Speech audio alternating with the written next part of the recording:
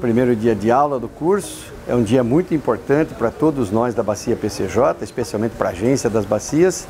é, porque significa o início de um processo é, que a gente lutou muito para ter uma escola de saneamento aqui nas bacias PCJ.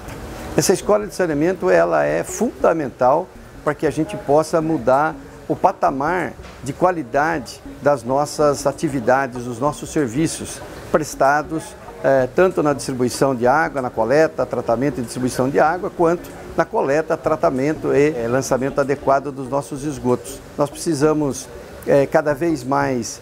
melhorar, dar eficiência para os nossos trabalhos, novas tecnologias a cada dia se apresentam para os serviços de saneamento e nós, nós precisamos que os funcionários desses departamentos de água, desses serviços de água, estejam capacitados para que a gente possa fazer sempre melhor.